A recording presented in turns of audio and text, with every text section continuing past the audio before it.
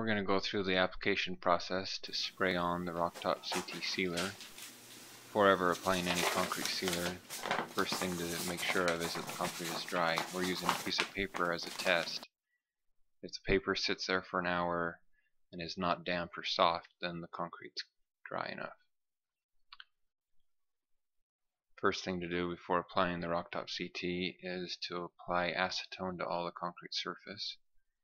We're going to also use the Rocktop primer which increases adhesion and reduces the amount of pinholes or small little bubbles that would be in the surface of the finished sealer. The primer needs to be applied directly to the concrete by roller with two coats. So as soon as the first coat's done, apply the second coat. The primer needs to be allowed to dry for 10 minutes before applying the Rocktop sealer. During that time the can of sealer should be shaken well or stirred in order to ensure that nothing is settled into the bottom of the can.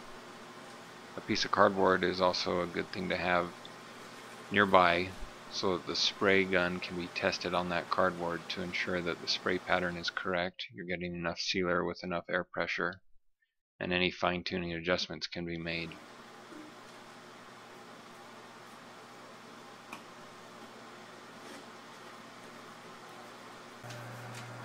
Sealer should be applied in two light coats, applied wet on wet, so one right after the other. The coating should be sprayed on evenly, slightly overlapping your previous spray to ensure a good even coverage. And this is the second coat being applied.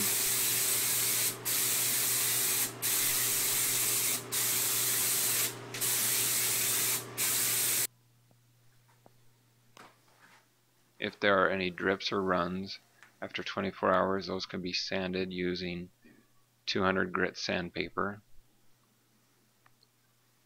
Any area that is going to be recoated by spraying needs to be sanded and then wiped with acetone.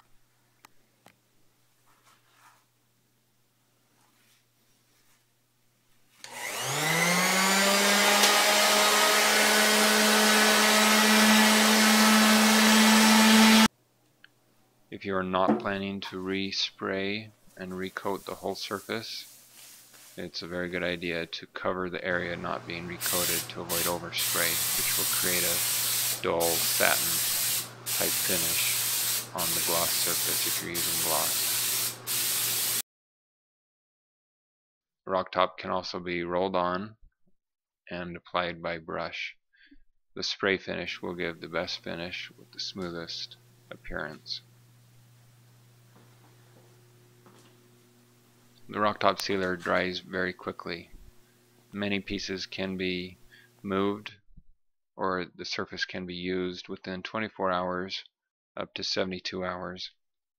During that time care should be taken as the sealer is still curing and will not be quite as hard. A full cure is reached at 7 days.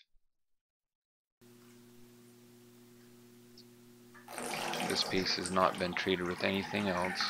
There is no wax, or other coating on it other than the sealer and it does a very good job of repelling water making it beat up. The coating can also be waxed if desired but it is not required.